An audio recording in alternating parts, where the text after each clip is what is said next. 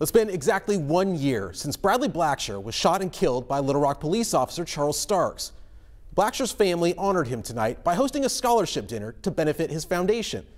THV 11's Mercedes Mackay shows us what his family hopes to achieve. Mercedes? David, exactly one year ago today is when the Blackshire's family's lives changed forever. Tonight they came together to remember his legacy while honoring community members young and old for the work they're doing to make the world around them a better place. The message of the night was plain and clear. The fight for justice isn't over, and change starts with the youngest generation.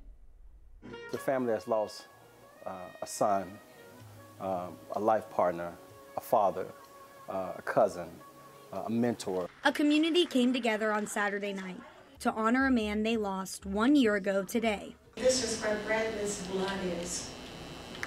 This is where he gave it all without intention to do so. Bradley Blackshire was shot and killed by Little Rock police officer Charles Starks on February 22, 2019. Starks was fired, but the Civil Service Commission gave him his job back. Since that time, um, the family has still been grieving uh, because of the injustices they've seen along the way, trying to find some accountability for officers who go beyond policy and go beyond the law. Over the past year, the Blackshire family has turned their mourning into opportunity by creating a foundation and now a scholarship dinner and fundraiser in their son's name to continue to fight for the justice they say Bradley was stripped from. Bradley didn't plan to die for us. That was not his plan. But it happened. And we ought to do something to make it matter.